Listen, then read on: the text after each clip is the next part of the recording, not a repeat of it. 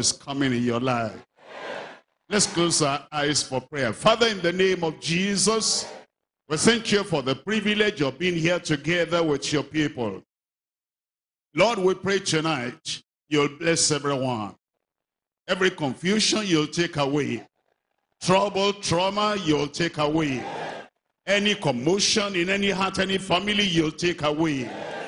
Let there be peace in everyone tonight in Jesus' name.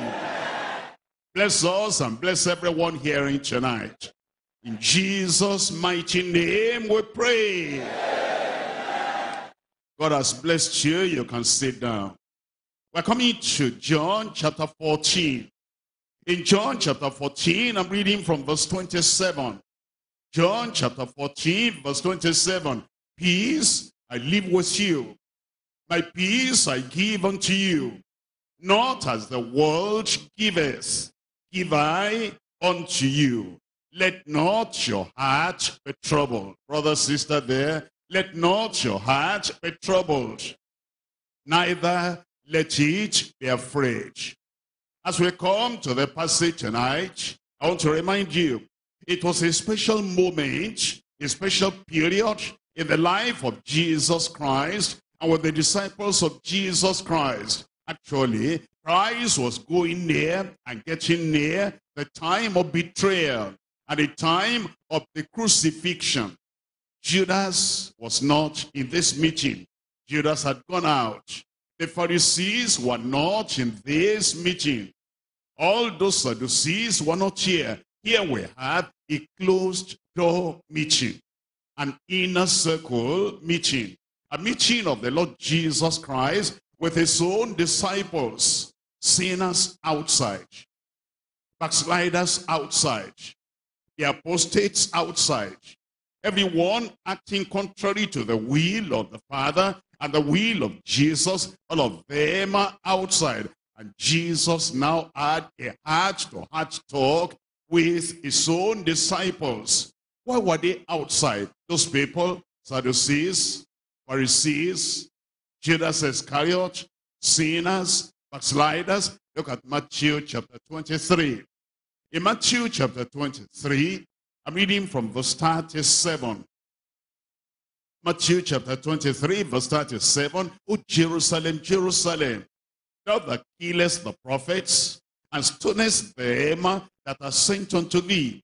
How often would I have gathered thy children together, even as a hen gathereth her chickens under her wings, and tell me, he would not. He wanted to bless them. He wanted to save them. He wanted to heal them. He wanted to deliver them. He wanted to write their names in the book of life in heaven. He wanted to give them a heavenly blessing. But it says, he would not. Behold, your house is left unto you desolate. That's the reason why he forsook them. He left them. He left them outside the kingdom. And now he came into his disciples and was sharing something deep, something high, something great and broad with his own disciples. Luke tells us in Luke chapter 19. Luke chapter 19, I'm reading from verse 41. It was a sorrowful scene for the Lord Jesus Christ that these people who should have received the blessings of God, they rejected the blessing. And now he had to go away from them. Look at Luke chapter 19, verse 41. And when he was come near, he beheld the city and wept over it, saying, If thou art known, even thou, at least in this thy day, the things which belong unto thy peace. But now they are hid from thine eyes. He was the Prince of Peace, and he's still the Prince of Peace. He brought his peace to them. He brought tranquility to them. He brought total rest. He brought ultimate rest. He brought complete rest for them. But they would not. And he said, if you had only known what I brought to you, if you had only known what's available for you, but because you didn't know and you have not accepted, he said, he led their house to them as desolate. Look at verse 43. For the day shall come upon thee that thine enemies shall cast a trench about thee and compass thee round and keep thee in on every side and shall lay thee even with the ground and thy children within thee, and they shall not leave thee in thee one stone upon another, because, because, you know, he wanted to save them, but they were not saved because he wanted to heal them. They were not healed because he wanted to bless them with heavenly blessing, but they were not blessed because thou knewest not the time of thy visitation. I pray you'll know the time of your visitation. And so that's the reason why Jesus now went into this uh, closed door meeting with his own disciples and has been revealing to them great and mighty things. And in what we're looking at today, we're looking at perfect peace for true and transformed disciples. Perfect peace for true and transformed disciples. We're coming back now to John chapter 14. And I'm reading from verse 27. John chapter 14, verse 27. You understand? The people who are listening to him now, who are the people that believed on him. They were the people that trusted him. They were the people that loved him. These were disciples, true disciples. These were disciples, transformed disciples, and was going to now bring his peace unto them. The world had rejected that peace. So he brought the peace to the people that believed. The Pharisees and the Sadducees and those who had turned away from him. They rejected the peace. They didn't know the time of their visitation. And now Christ came to them and said in verse 27, Peace I leave with you. My peace I give unto you. Not as the world giveth, give I unto you. Let not your heart be troubled. Every trouble he'll take away. All the problem, the pressures, he'll take away. Everything that contradicts your progress, he'll wipe off even tonight in Jesus' name. neither let it be afraid. Have heard how I said unto you, I go away and come again unto you. If ye love me, ye would rejoice because I said, I go unto the Father, for my Father is greater than I. And now I have told you before it come to pass, that when it is come to pass, ye might believe. I know you believe. I believe. I said, I believe. And the blessings of faith will come upon your life. Look at verse 30. Hereafter, I will not talk much with you. The prince of this world cometh and has nothing in me. But that the world may know that I love the Father, and as the Father gave me commandment, even so I do. Arise, let us go hence. That's the passage we're looking at tonight. Three points we're looking at. Number one, the partakers of his peace through his word. The partakers of his peace through his word. Point number two, the people without his peace or worthiness. They made themselves unworthy. And he large his peace. The people without his peace or worthiness. Number three is power over the prince of this world. He has power. All power. Complete power. And nothing of the prince of this world will overcome him, overcome you as you believe on the Lord in Jesus' name. His power over the prince of this world. Point number one. Tell me there, point number one. The partakers of his peace through his word. I'm coming to uh, chapter 14, verse 27. It says, Peace I leave with you. My peace I give unto you. It says, I'm giving you peace. And then it says, if you look at the middle of that verse, it says in that verse, let not your heart be troubled, since I'm giving you peace. And it says, neither let it be afraid. As we look at what Jesus Christ has said, and he's saying he's giving peace, and you look at the New Testament and also the Old Testament, and see the kind of peace that comes from the Lord. There are three aspects of the peace. Number one, peace with God. Peace with God. Number two, there is the peace of God. The peace of God. Number three, there is the God of peace.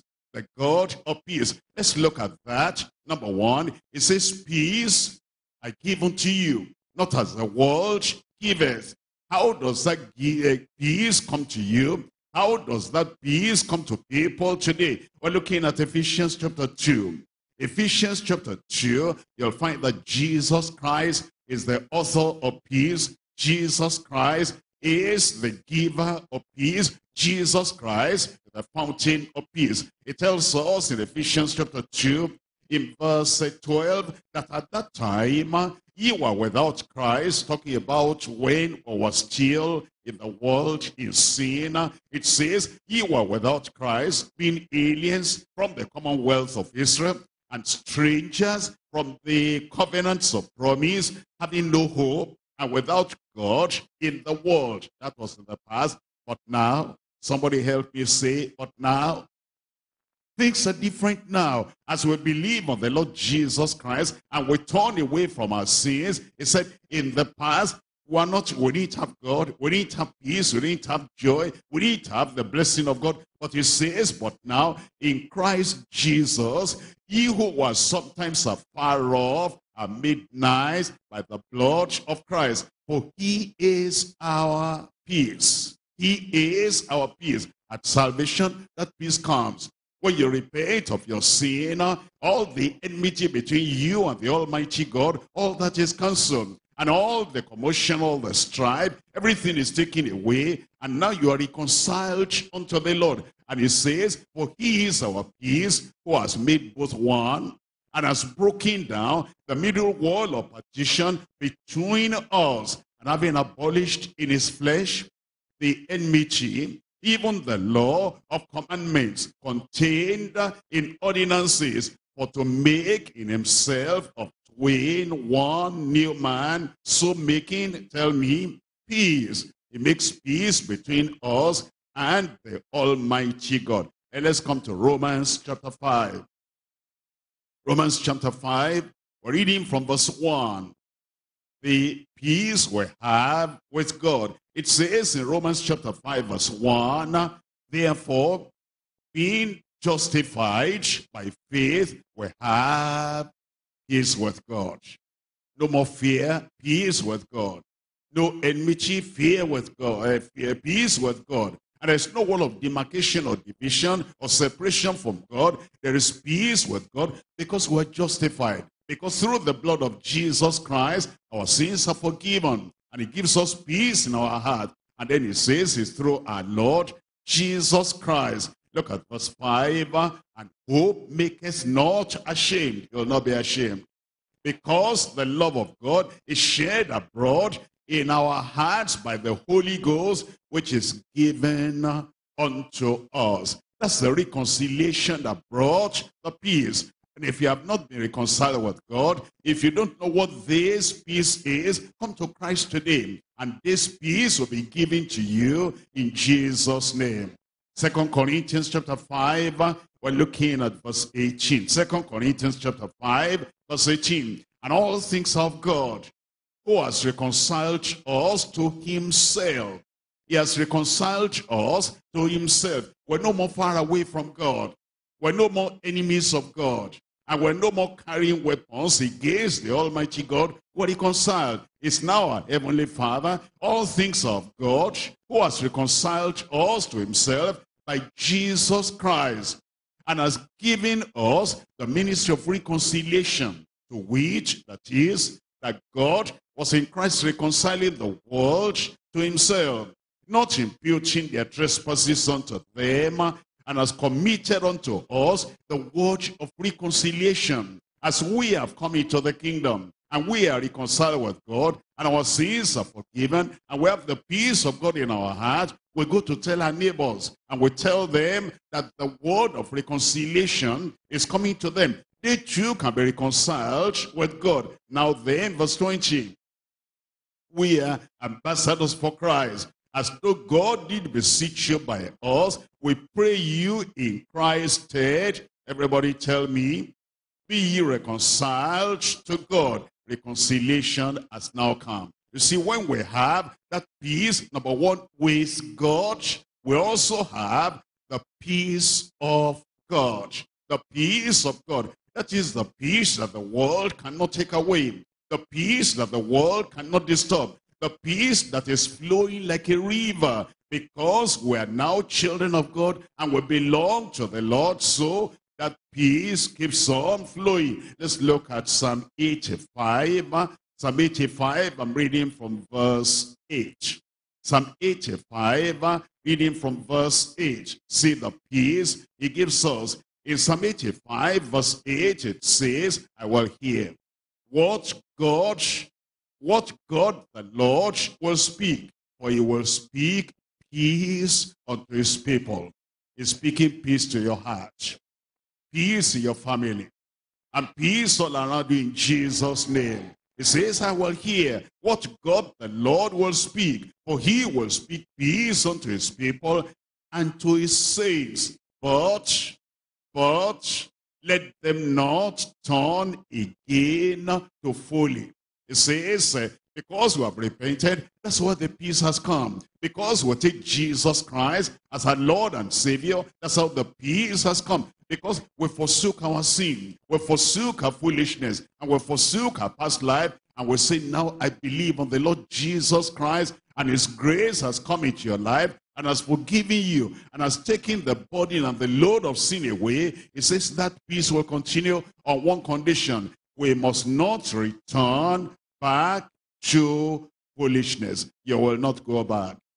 Isaiah chapter 26, the peace of God. Isaiah chapter 26, and I'm reading here from verse 2.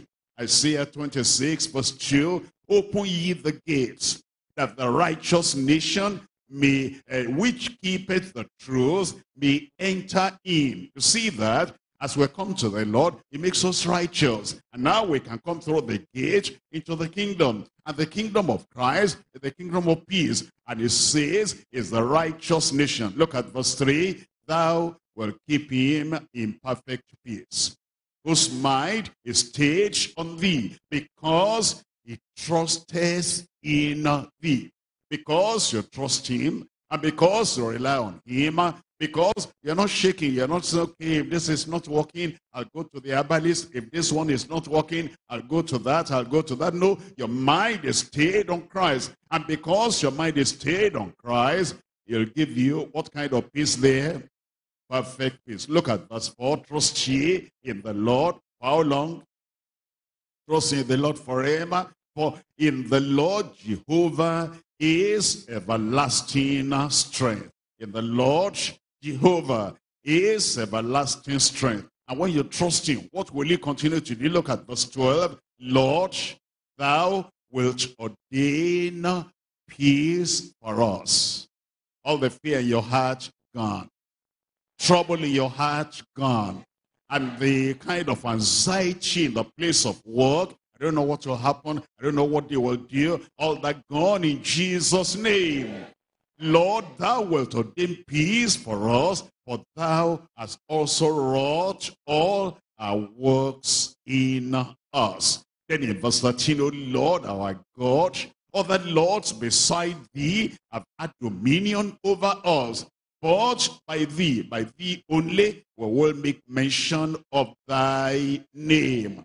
You see that you come to the kingdom of God, and as you come to the kingdom of God, this peace, perfect peace, comes to your heart, comes to your life, and as you keep on trusting in the Lord, any problem that wants to disturb that peace, wants to take away that peace, the Lord will take that problem away. You'll be free. Say, I am free already. And the peace of God will reign in your heart, in your life in Jesus' name. We're coming to Romans chapter 14. Romans chapter 14 verse 17. Romans chapter 14 verse 17. It says, For the kingdom of God is not meat and drink, but righteousness and peace and joy in the Holy Ghost. You see that?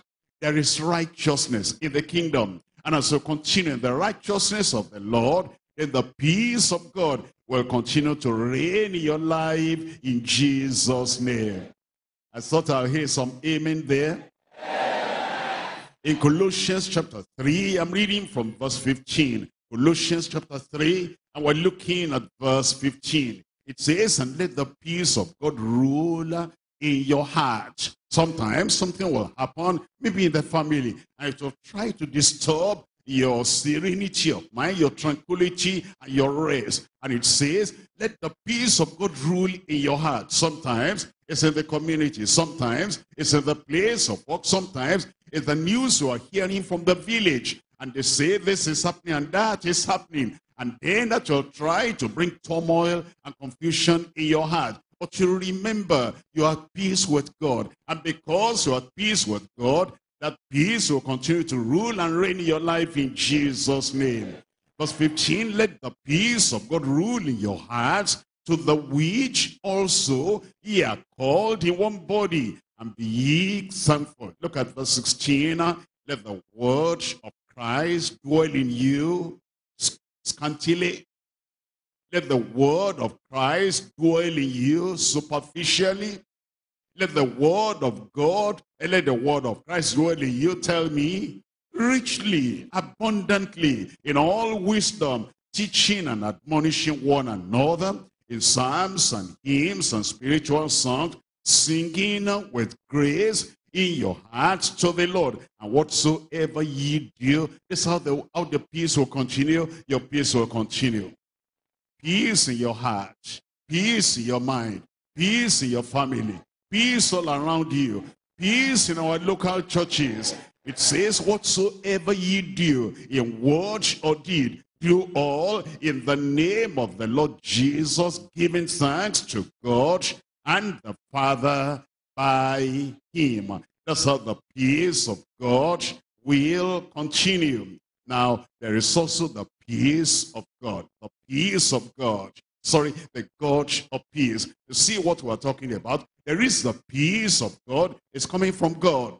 And it will fill your heart. It will fill your soul and it will keep you at peace every time. But then there's something still higher. There's something still greater. There's something still deeper, which is the God of peace himself. We're looking at, uh, Philippians chapter 4. Philippians chapter 4. And I'm going to read to you verse 7. And then I will read verse 9. And you see the reason why I'm doing that. We're looking at uh, Philippians chapter 4 verse, tell me there, verse 7, verse 7, are you there? It says, and the peace of God, you see that? And the peace of God, but then as you come to verse 9, verse 9, the last line of verse 9, and the God of peace shall be with you. You see, it's coming from the peace of God. You see, when you, when you become saved, you have peace with God. And then as you're living your life in submission to the Lord, in surrender to the Lord, you have the peace of God. And then you go deeper, you go higher, you go further, and there is the God of peace, and this brings sanctification. Three things. Number one, there is salvation. Number two, there is submission. Number three, there is sanctification. Number one, in relation to the peace that God gives us, number one, salvation through Christ grants us peace with God. Being justified by faith, we're peace with God. We're justified, we're forgiven, our sins are erased, our sins are taken away, and we have salvation. You remember that uh, for us, peace, purity, power, mine, mine in the Lord, mine in the Lord.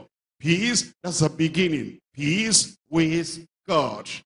And peace that we have, that comes through salvation. Number two, there is submission to Christ, resulting in the peace of God. In the peace of God. That goes further. Because now we go from salvation, and now that I'm saved, now that I'm born again, there is submission to Christ. And that gives me the peace of God. And then I say there's still more. There's still more. After salvation, after submission to Christ, there is sanctification by Christ. And that leads us to the peace of God. Let's come now to Philippians chapter 4. Philippians chapter 4, I'm reading from verse 6. Be careful for nothing. Be anxious for nothing. Be worried about nothing because all will be well. I said all will be well.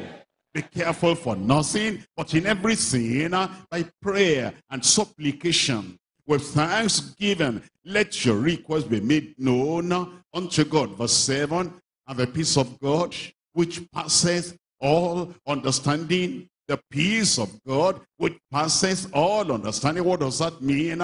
You have the peace of God. And then some people like your neighbors, they see some things that are happening, and then you're still having peace. They're surprised because this peace of God passes all understanding. Your classmates, they're worried. And uh, your neighbors, they're worried. And your co-workers, they're worried. And maybe there is a kind of problem at home. And the people that know about that problem, they're worried about this. They're even anxious for you. But you are calm. I said you are calm. You're cool. I said you are cool. Because you know God is on the throne. You say, I feel him inside me. The peace he gives me. And I know all will be well.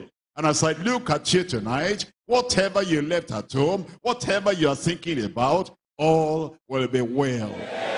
And because of that conviction inside your heart, that's why it says, and the peace of God, which passes all understanding, shall keep your hearts and minds through Christ Jesus. Look at verse 8. Finally, brethren, whatsoever things are true, you see, that's what keeps us in that peace of God. We don't think about things that are not true. Whatever Satan says, that's not true.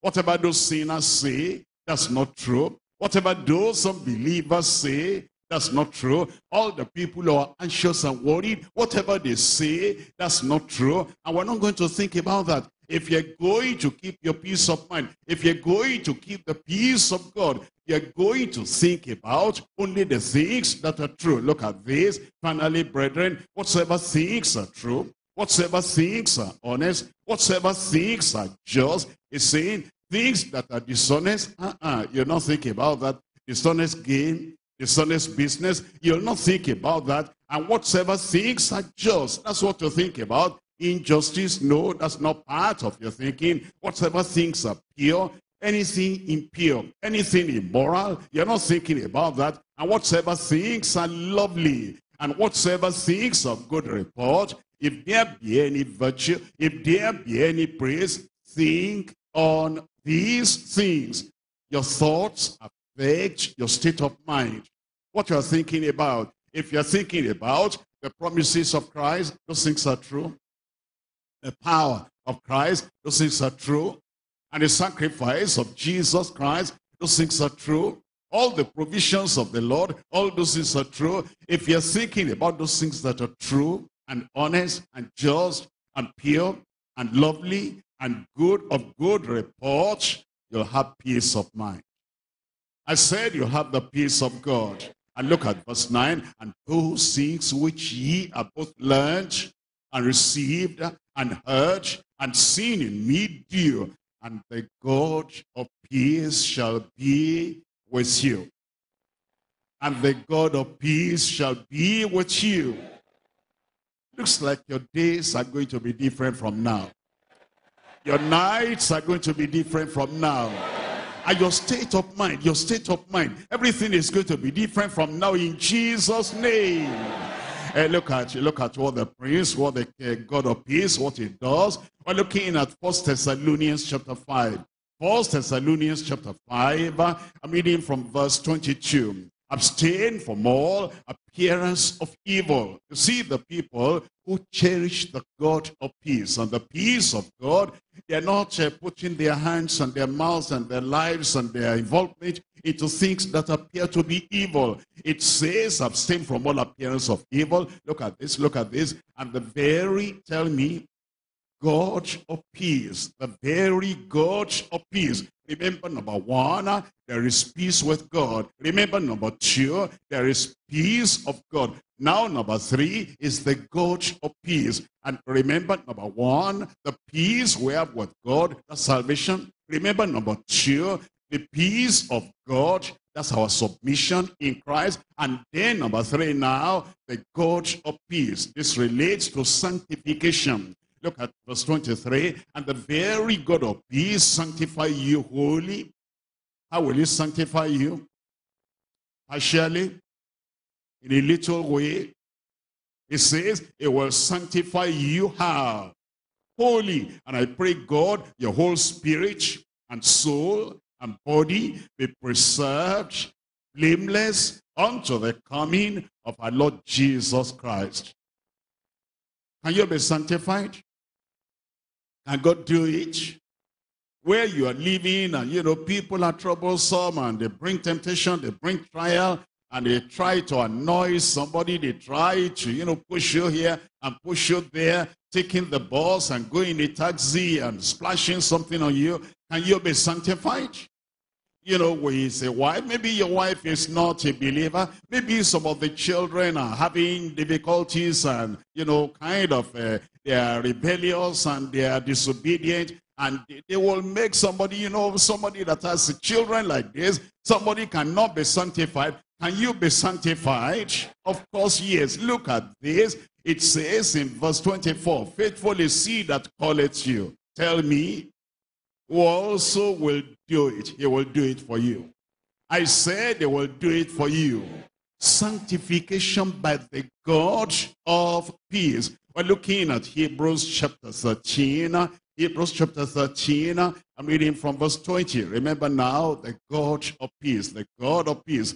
Um, Hebrews chapter 13, verse 20. Now, the God of peace that brought again from the dead our Lord Jesus, that great shepherd of the sheep, through the blood of the everlasting covenant, verse 21, make you, make me make me is a God of peace that will do it. Number one, the peace with God. Number two, the peace of God. Number three, the God of peace. The God of peace make you perfect in every good work to do his will, working in you that which is well-pleasing in his sight through Jesus Christ, to whom be glory both now and ever. Amen. He'll accomplish it in every one of our lives in Jesus' name. We're coming to point number two now. The people without is peace or worthiness. We're coming to John chapter 14. John chapter 14. And we're reading here from verse 27. In verse 27, it says, Peace I leave with you. My peace I give unto you. Now that's talking to the disciples, those who trust him, those who love him, those who rely on him, those who believe him, and those who are following him intimately. And they're not going to allow anything to separate between Christ and them. But now he says, not as the world giveth. Not as the world giveth. We're talking about the people now outside the kingdom, the world. We're talking about the people that have rejected Jesus. He came unto his own, and his own received him not. And he says, but to them who received him and to them who believed, he gave them to become the sons of God. He said, the world was made by him, and the world will not receive him. And he's talking about that world now. That world, it says that those people, they do not have his peace. Those people, they do not have his worthiness. They are not worthy of the peace of God because they rejected. Three things we're looking at about these people. Number one, no peace for the wicked. No peace for the wicked. The people who will not drop their wickedness and believe on the Lord Jesus Christ, there's no peace for them. Number two, no peace for the worldly wise. The worldly wise. That is, they think they are wise, they are wiser than the salvation the Lord is providing. They are wiser than the words the Lord was speaking. And he counted the words of Christ, the word of salvation, and the word of life eternal. He counted that as foolishness. There is no peace for the worldly wise. Number three, there is no peace for wanting worshippers.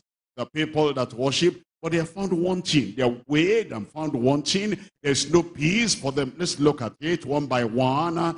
Number one here, no peace, tell me, for the wicked. We're looking at Romans chapter 3. Romans chapter 3, and I'm reading from verse 17. Romans chapter 3, we're looking at verse 17. It says, the way of peace they have not known the way of peace they have not known. Who are these people that the way of peace they have not known? Let's look at it from verse 10. It says, that as it is written, there is none righteous, no, not one. The people who have not come to Jesus Christ so that their righteousness can be taken away.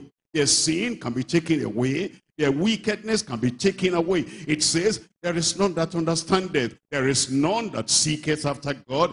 They're all gone out of the way. The way of salvation, they have gone out of the way. The way of righteousness, they have gone out of the way. The highway of holiness, they have gone out of the way. It says they are all together become unprofitable. There is none that doeth good, no, not one. It says their throat. Look at this. The people who do not know the way of peace, who do not have the peace of God, even though they might say, I go to church, I read the Bible, I pray, I do this and that. But you know, if, the, if their throat is an open sepulchre, with their tongues they have used the the poison of arms of serpents is under their lips, whose mouth is full of cursing and bitterness. Their feet are swift to shed blood. Destruction and misery are in their ways. Tell me, verse 17, 1, 2, 3, go and the way of peace they have not known. Those people do not have the peace of God because they have not surrendered their lives to the Lord Jesus Christ. You find them sometimes on the side of the road, they're fighting. You find them sometimes in the neighborhood, you're hearing the noise of the husband and the wife. He's breaking my head, he's breaking my head. And then the man is saying, he's taking a knife, he's taking a knife. They do not have peace, they do not know peace because they do not have the Prince of Peace abiding in them. Even without any provocation, they will fight. Even without anybody touching them or anybody harassing them, if they don't see a fight, they will make a fight because they are not saved, they are not born again. They do not have the Prince of Peace in them. But when you have the Prince of Peace in you, things will be totally different. We're coming to Isaiah chapter 48. Isaiah chapter 48, and I'm reading from verse 20. Isaiah chapter 48, verse 20. It says, Go, for, go ye forth out of Babylon. Flee ye from the Chaldeans. With the voice of singing declare ye. Tell this, utter it even to the end of the earth. Say ye, the Lord has redeemed his servant Jacob. And it says, is the state not which when he led them through the desert, he caused the waters to flow out of the rock for them. He cleaved the rock also, and the waters gushed out. Verse 22, everybody one, two, three, go. There's no peace, says the Lord, unto the wicked, while he's blessing his people while he's saving those who are repenting, while he's uh, turning their lives around, and he's giving them the willingness to submit to the Lord and to make right their ways. And if they have any restitution, to make those restitution. And they are happy and joyful because things are different now with them. For the people who are wicked, they're looking at that believer, they're saying, what's happening to him? Why is he making right his life? Why is he doing restitution? Why is he correcting the things that were wrong before? Because they don't understand the peace of God has come. And because the peace of God has come, they want to submit to the God of peace. And the peace of God will rule in their hearts. And it says, there is no peace, says the Lord, unto the wicked. You will not remain wicked. I said you will not remain wicked because there's no peace on earth. There's no peace in eternity for the wicked. We're looking at Isaiah chapter 57. Isaiah chapter 57. I'm reading from verse 20. Isaiah chapter 57, verse 20. But the wicked are like the troubled sea.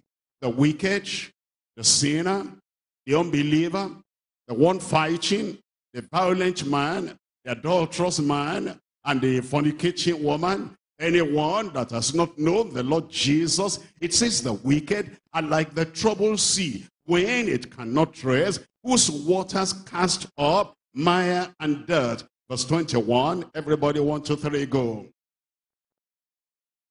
There's no peace, says God, my God, to the wicked. There's no peace for them on earth. There's no peace for them on the other side of this world. Revelation chapter 6. In Revelation chapter 6, I'm reading from verse 4. Revelation chapter 6, I'm reading from verse 4.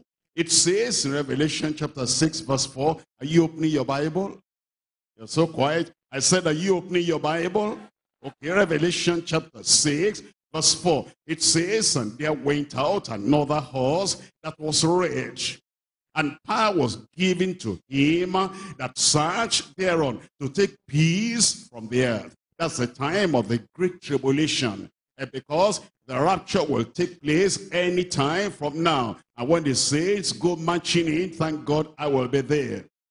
I said, I will be there.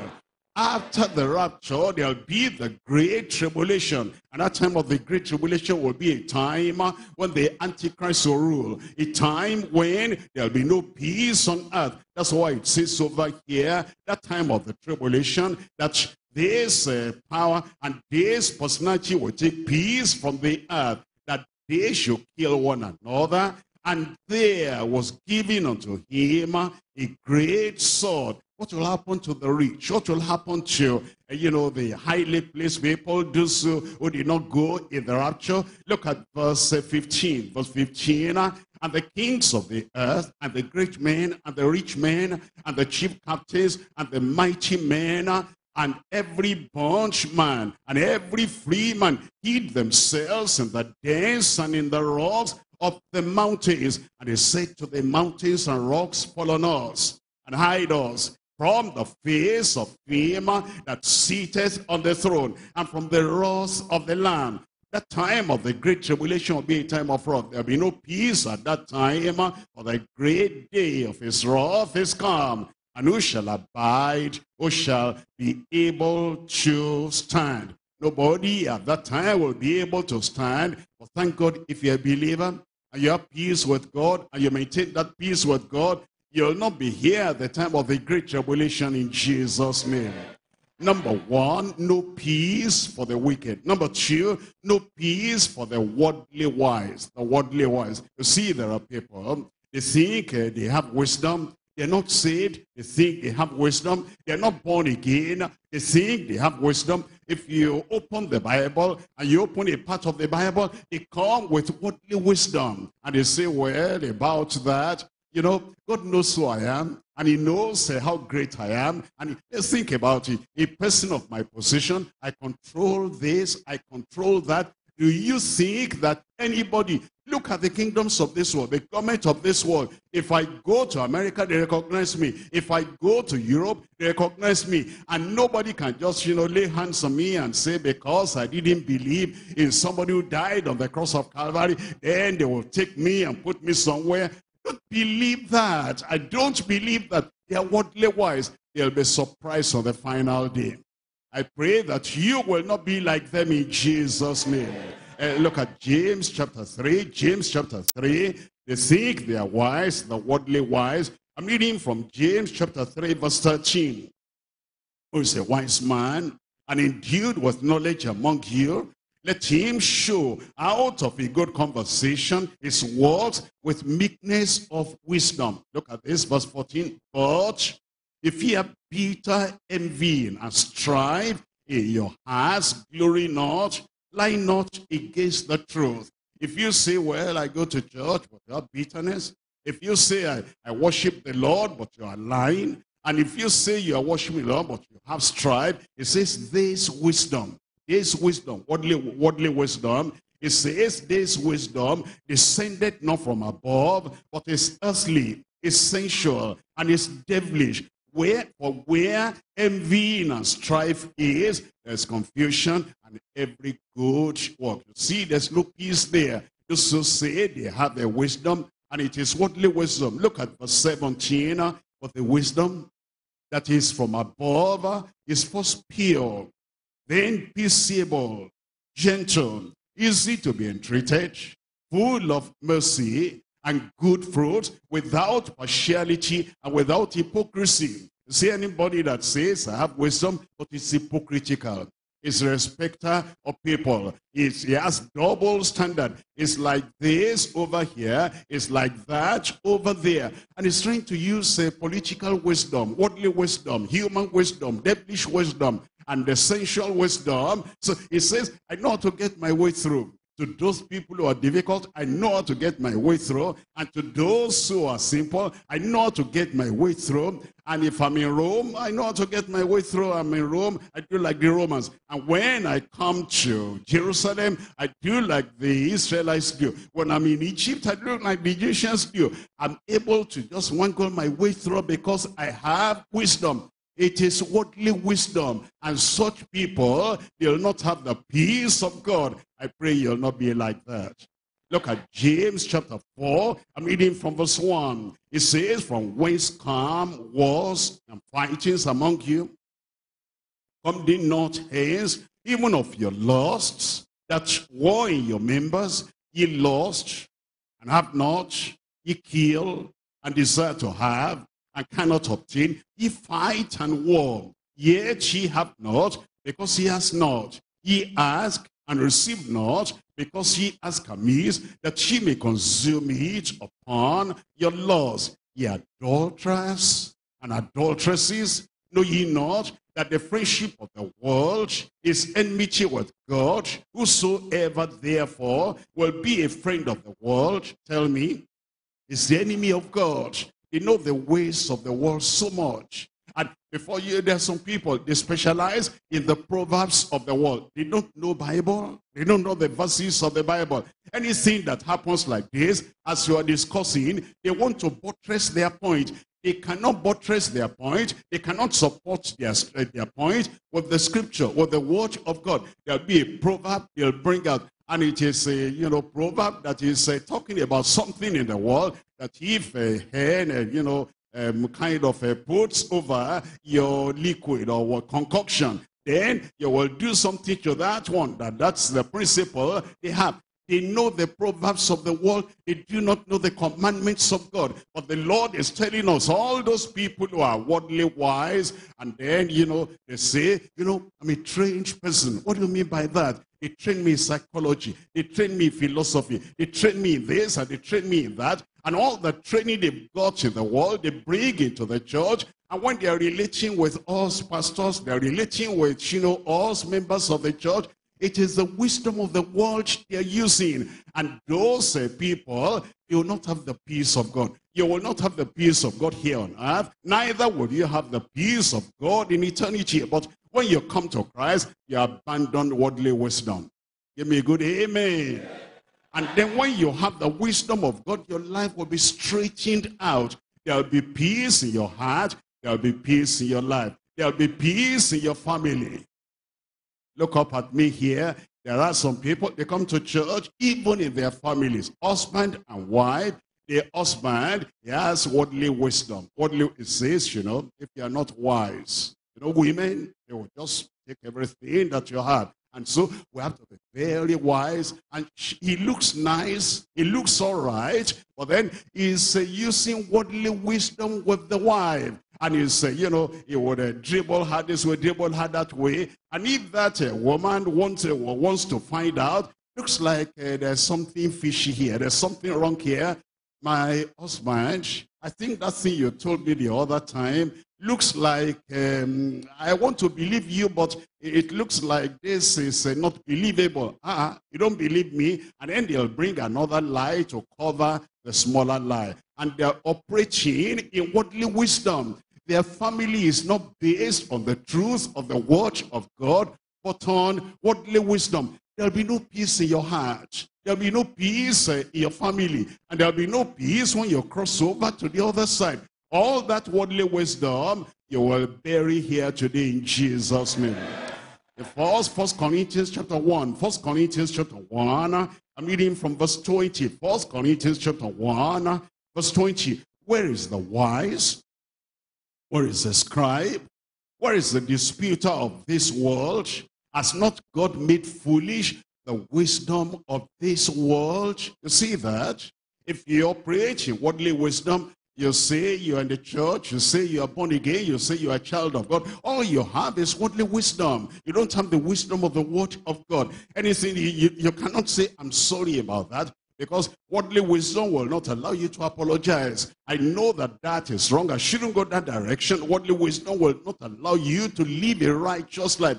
You are living in hypocrisy and, and diplomacy and whatever it is. The duplicity shows that you have worldly wisdom, and that worldly wisdom will disappoint you on the final day. I pray you repent before it becomes too late. Look at, look at verse 21. For after that, in the wisdom of God, the world by wisdom knew not God.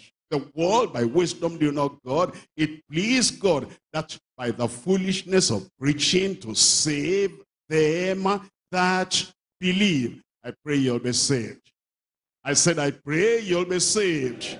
We're looking at number three now. No peace for wanting worshippers. No peace for wanting worshippers. Remember that word wanting?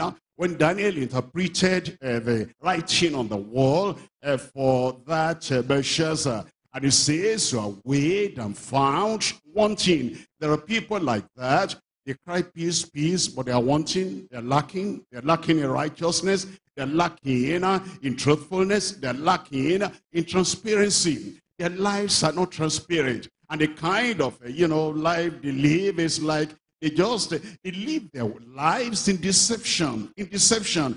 And they deceive even the people they respect. They say they respect. They deceive even the people they say they love. They, they deceive anybody and everybody because, you know, it's the way of uh, whatever it is, whatever will work. Because in this life, I want to make it. I want to do this. I want to do this. And whatever will give them that expediency, that's what they're going to do.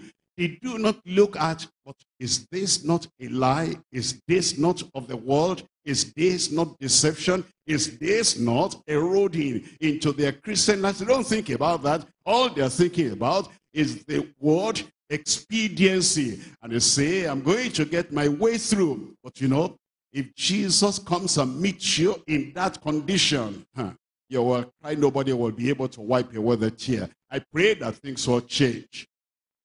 Church, I said, I pray things will change. Uh, look at Jeremiah, Jeremiah chapter 8, and I'm reading from verse 11. Jeremiah chapter 8, verse 11. It says, Therefore, thus says the Lord, Behold, I will bring evil upon them, which they shall not be able to escape. And though they shall cry unto me, I will not hearken unto them. Look at verse 15. It says in verse 15, uh, looks like I'm reading an extra verse to you there. I, you are not paying for that. That one is a bonus. I'm coming to chapter 8 now. Are you ready? Aren't you happy you are getting bonus? Say, I'm happy. Look at Jeremiah chapter 8 now. Jeremiah chapter 8. I'm reading from verse 11. In verse 11, for they, for they have healed the heart of the daughter of my people slightly, saying, peace, peace, when? Tell me out aloud. When there is no peace, look at verse 15 there. It says, we looked for peace, but no good came. And for a time of health, and behold, trouble. Look at verse 20. The harvest is past. The summer is ended. And we're not saved. They could have been saved. They were going to a sanctuary. They could have been saved. They were going to a temple. They could have been saved. There were prophets to talk to them and lead them like Jeremiah. They could have been saved. And they could have straightened out their lives and repented and called upon the Lord. But they were not saved because some people were deceiving them and they were saying peace, peace, when there was no peace. We're looking at Lamentation chapter 1. Lamentation chapter 1, I'm reading from verse 3. Lamentation chapter 1, I'm reading here from verse 3. In Lamentation chapter 1 verse 3, Judah is gone into captivity because of affliction, because of great servitude. It says, she dwelleth among the heathen, she findeth no rest. She findeth no rest. And this is Judah. All the persecutors overtook her between the straits. Let's look at, uh, let's look at uh, verse uh, 5. In verse 5 it says, our adversaries are the chief our enemies prosper. For the Lord has afflicted her for the multitude of her transgressions. Her children are gone into captivity before the enemy. Look at verse 6. And from the daughter of Zion, all her beauty is departed. Her princes have become like herds that find no pasture, and they are gone without they're gone without strength before the pursuer. Look at verse 8. In verse 8, Jerusalem has grievously sinned, therefore she is removed. Jerusalem has grievously sinned, therefore she is removed. And then it goes on to say, all her honored, all that honored her, despise her, because they have seen her nakedness. Yea, she sighs and turneth backward. Her filthiness is in her skirts, and she remembereth not her last end. You see, the people who act, and they don't remember their last age, their last day. And they don't remember what goes, what is going on or going to happen beyond the grave. Therefore, she came down woefully, wonderfully. She had no comforter. O Lord, behold my affliction, for the enemy has magnified himself. We're coming to First Thessalonians chapter 5. First Thessalonians chapter 5, I'm reading from verse 1. First Thessalonians chapter 5, reading from verse 1. No peace for wanting worshippers. They worship him, but they do not uh, follow the way of righteousness. There's no peace for them. First Thessalonians chapter 5, verse 1.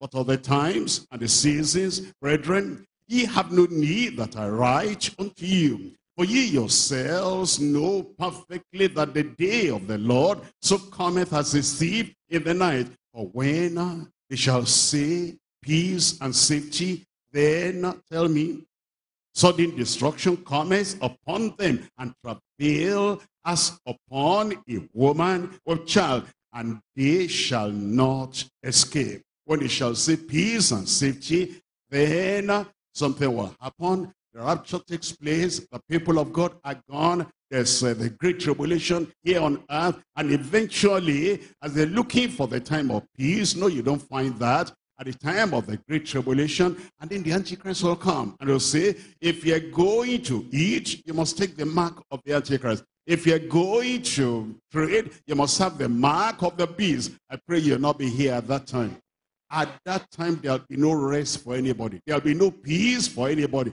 That's why the wisest thing to do is to say that now that Jesus Christ is giving us peace, I'm going to accept him. I'm going to receive him. I'm going to turn away from my sin and I'm going to have the salvation of the Lord. And when you have the salvation of the Lord, the peace that you have, the peace with God will come in your soul. And the peace of God will reign in your heart. And the God of peace, as you move on, will sanctify you in Jesus' name.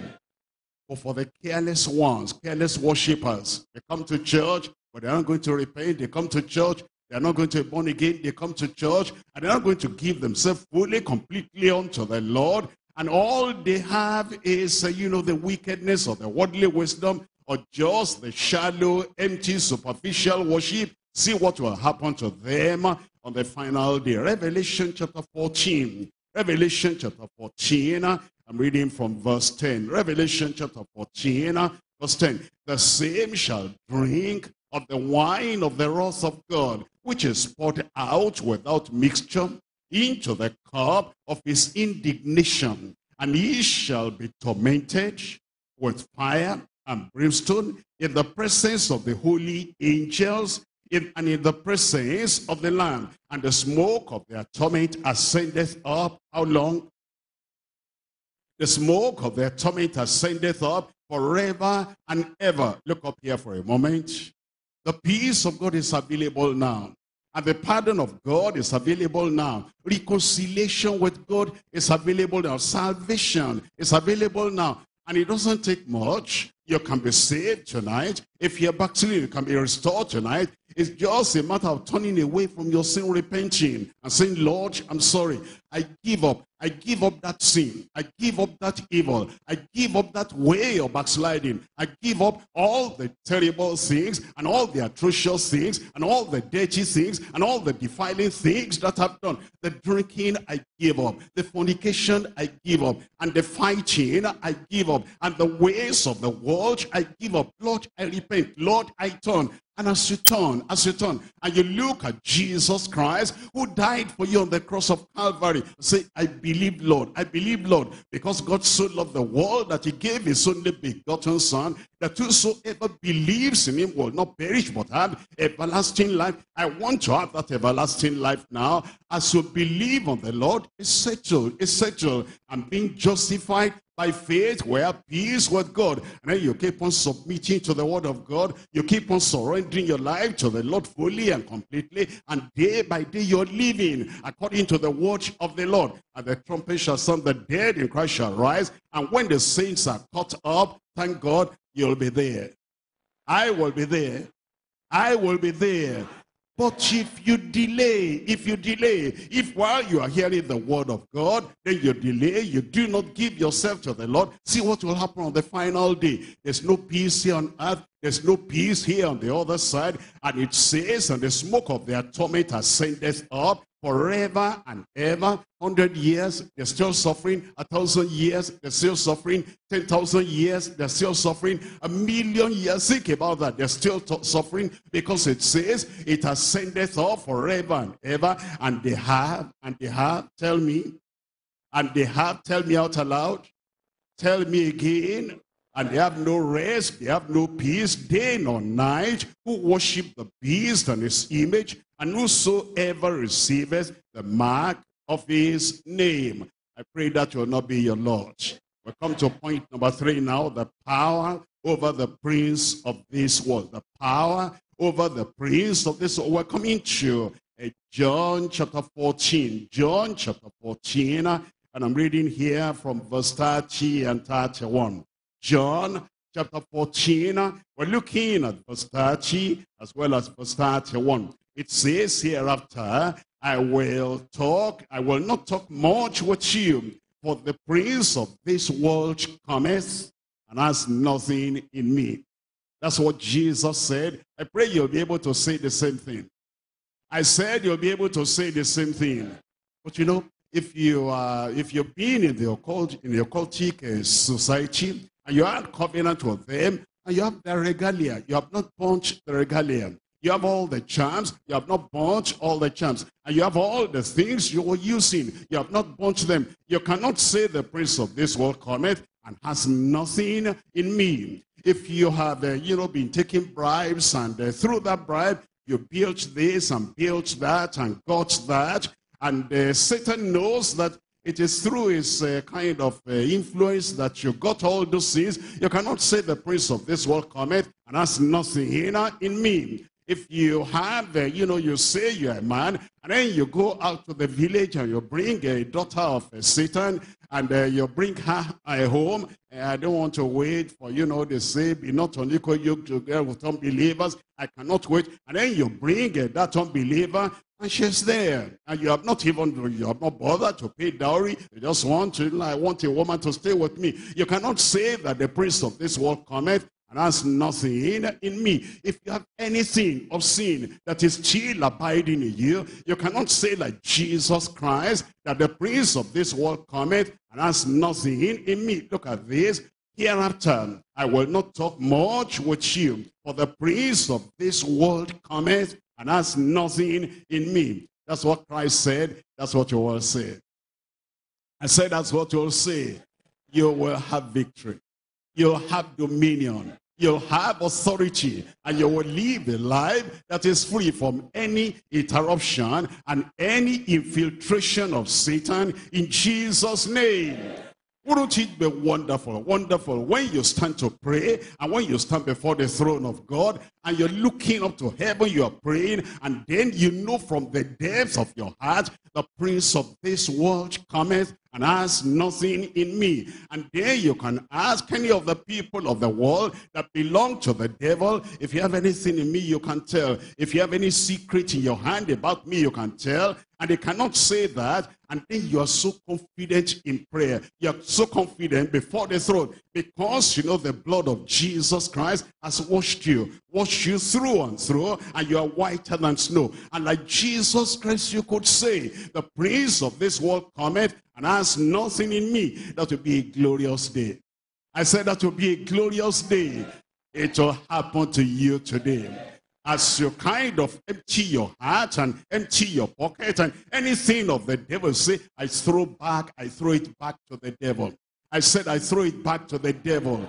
Anything the devil has deposited in your life, you say, I throw it off. And then the blood of Jesus cleanses you and washes you whiter than snow. And then you can say, the prince of this world has nothing in me. I'm looking at somebody there, it will happen. I said it will happen. You'll have boldness before the throne. You'll have courage before the throne. Anywhere you go, you'll be a man of authority. You'll be a woman of authority. Look at verse 31. But the world, but that the world may know that I love the Father, and as the Father gave me commandment, even so I do. Arise and let us go hence. When you arise tonight, we'll go out in victory. You'll go out in power. You'll go out in authority. The power is power over the prince of the world. You know why he has the power over the prince of the world? Number one, the absolute sinlessness of Christ.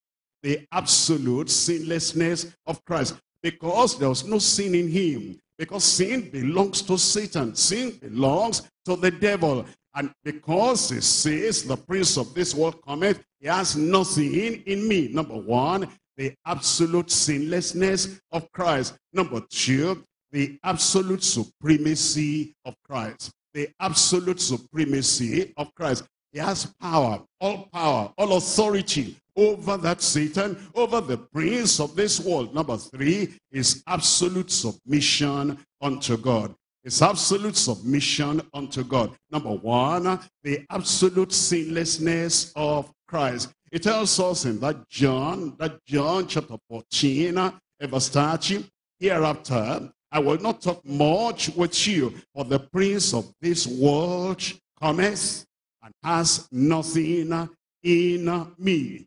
That's my Jesus. That's my Savior. That's my Lord. He could speak with boldness and with courage and with confidence. The prince of this world cometh and a sinner did not have uh, any place to stay in the life, in the heart, in the thought of Jesus. In uh, Hebrews chapter 4, Hebrews chapter 4, I'm reading from verse 15. Hebrews chapter 4, verse 15. For ye, for we have not an high priest, which cannot be touched with the feeling of our infirmities. But look at this, look at this. He was in all points tempted, like we are, like as we are, and yet without sin. And yet without sin is absolute sinlessness. Look at Hebrews chapter 7, verse 26. Hebrews chapter 7, verse 26. For such an high priest became us who is holy, harmless, undefiled, separate from sinners, and made higher than the heavens. That's Jesus Christ. No sin, absolute sinlessness of Christ. That's why I could say, the prince of this world cometh and has nothing in me. First Peter chapter 1, verse 18 and verse 19. First Peter chapter 1, verse 18. For as much as she know that she were not redeemed with corruptible things, as silver and gold, from your vain conversation received by tradition from your fathers, but with the precious blood of Jesus Christ, as of a lamb, without blemish and without spot. That's Jesus. Any sin in Jesus? I said any sin in Jesus? No, never. First, First John chapter 3, verse 5. First John chapter 3, verse 5. And you know that he was manifested to take away our sins. And in him is no sin. Say that with me. And in him is no sin. I can't hear you. Look at verse 6. Verse 6. Whosoever abideth in him sinneth not. Whosoever sinneth has not seen him, neither known him. Little children, let not let no man deceive you. He that doeth righteousness is righteous, even as he is righteous. He that committeth sin, what? Oh, no, that person cannot stand up and say like Jesus, the prince of this world cometh, and he has nothing in me. Satan will say, huh, shut up, you're telling another lie. How about the lie? How about the deception? How about the stealing? How about the fraud? How about the bribery? How about the corruption? How about the anger? How about the wrath? How about the cheating? How about the hypocrisy? Don't say that Satan has nothing in you. But you know, if you're born again, and day by day you are living the victorious life, it's going to start tonight. Victorious life. I said victorious life. That the devil comes from this direction, you say, no way. He comes from that direction, you say, no way. And the way he used to come before, I will put your back on the wall, and then begin to cry again, oh God, have mercy on me, I've fallen again, you will not fall again. then you'll be able to say, the prince of this world cometh and has nothing in, in me. Look at that verse 8. He that committeth sin is of the devil. For the devil sinned from the beginning. For this purpose, the Son of God was manifested that he might destroy the works of the devil. Verse 9, uh, whosoever, that's me. I said whosoever, that's me. In the night, that's you. In the day, this is you. In your place of work, this is you. Anywhere we find you, this is you. Whosoever is born of God does not commit sin. For his seed remaineth in him, and he cannot sin because he is born of God. Give me a good amen. First John chapter 5, First John chapter 5, verse 18. First John chapter 5, verse 18. We know that whosoever is born of God sinneth not. You have not opened your Bible. Are you there? First John chapter verse chapter 5 verse 18. For we know, do you know? For we know that whosoever is born of God sinneth not. But he that is begotten of God keepeth himself. Tell me the rest. And that wicked one touches him not. Number one, Christ's absolute sinlessness. The absolute sinlessness of Christ. Number two, his absolute supremacy over Satan. We're coming back to John chapter 14, verse 30. John chapter 14, I'm reading from verse 30. It says in verse 30, hereafter I will not talk much with you, for the prince of this world cometh. Tell me what you'll find there. Tell me out aloud and has nothing in me. The prince of this world cometh and has nothing in me. He's talking about Satan. That's what he calls the prince of this world because he has absolute supremacy over the devil. Chapter 12, John chapter 12, I'm reading from verse 31. John chapter 12, verse 31. It says, now is the judgment of this world.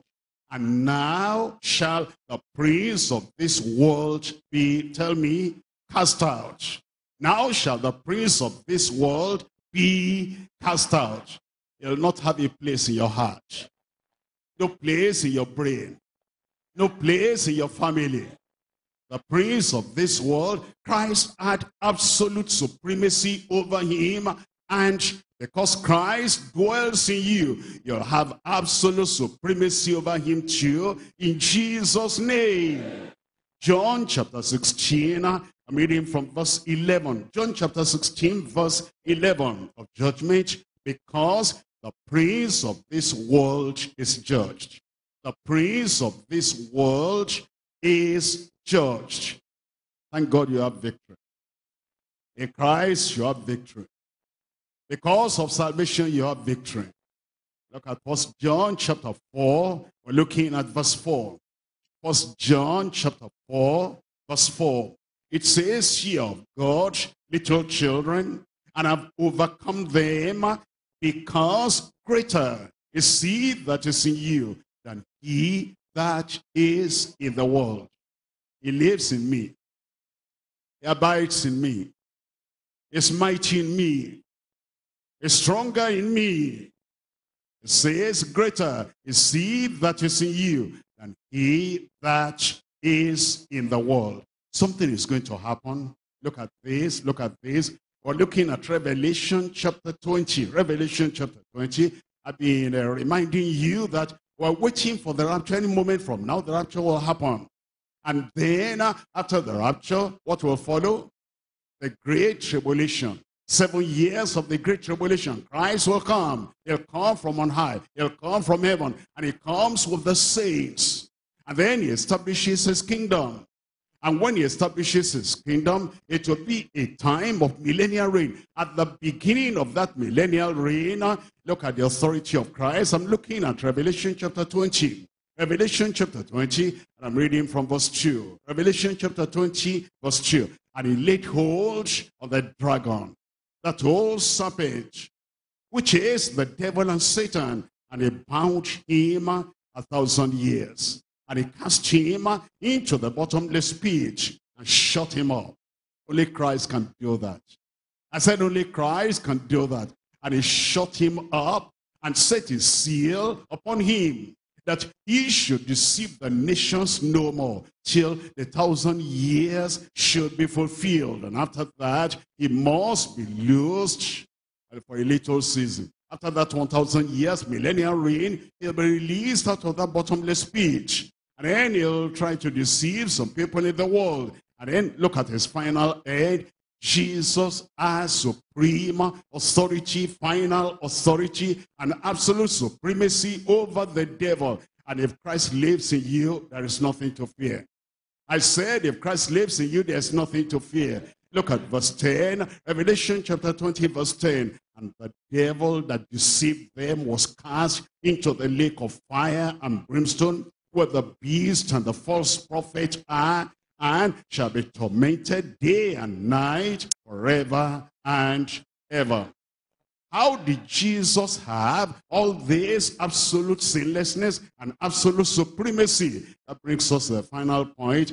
Absolute submission to God. Absolute submission to God. When you surrender yourself to totally unto the Lord, like Jesus did unto the Heavenly Father, you yourself too, you'll have authority you will have power. You'll have supremacy. And the power of the Lord will be working in your life in Jesus' name. John chapter 14. John chapter 14. I'm reading from verse 31. But that the world may know that I love the Father, as the Father gave me commandment, even so I do.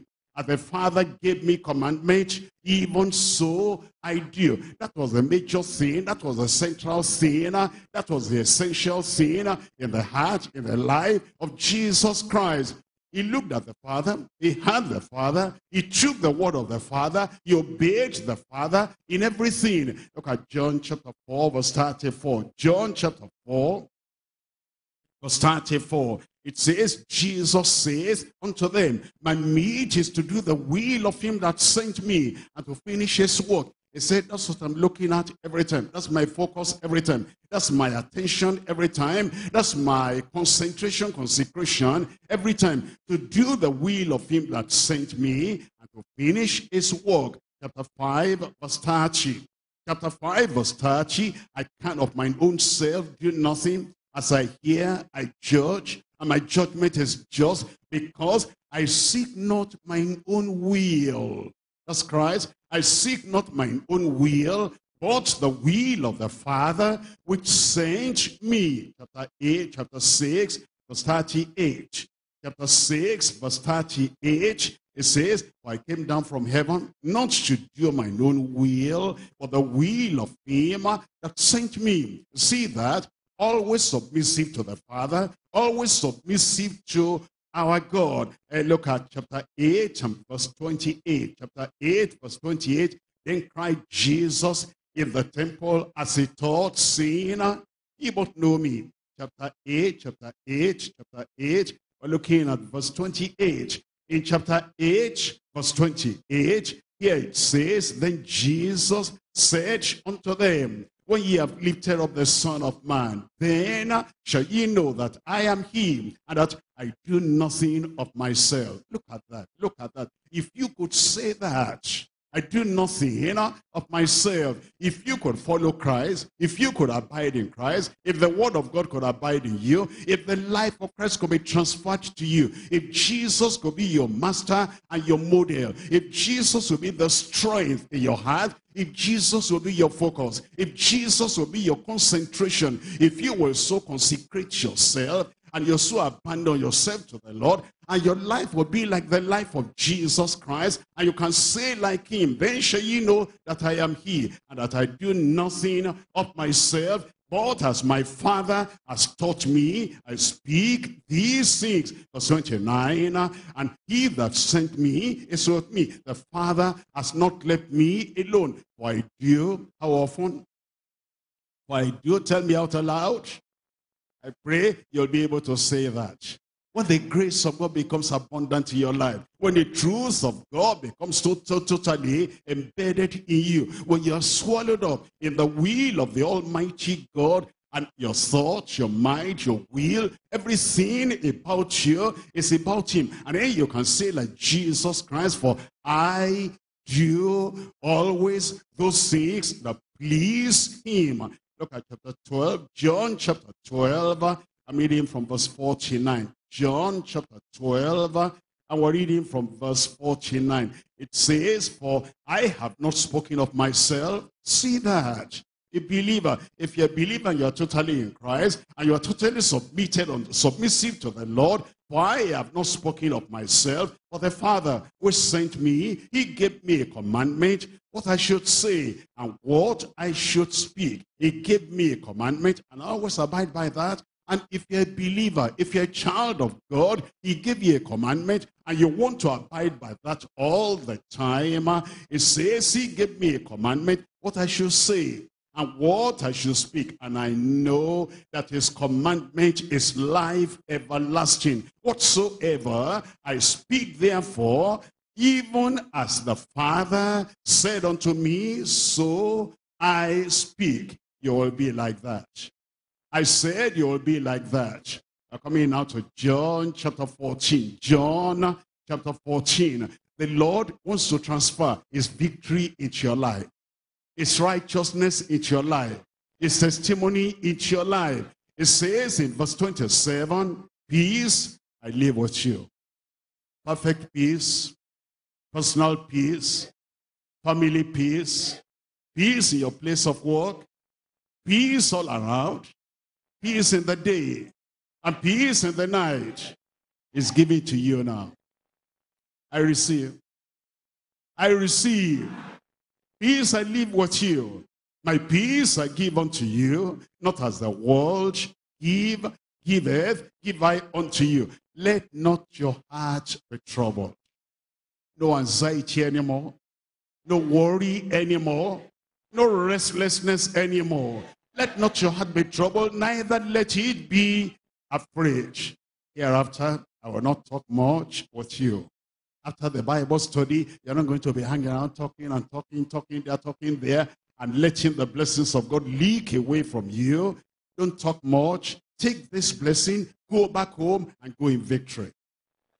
For the prince of this world cometh and has nothing in me. His sickness will not be in you. His oppression will not be in you. His defeat will not be in you. The prince of this world cometh. Somebody say that.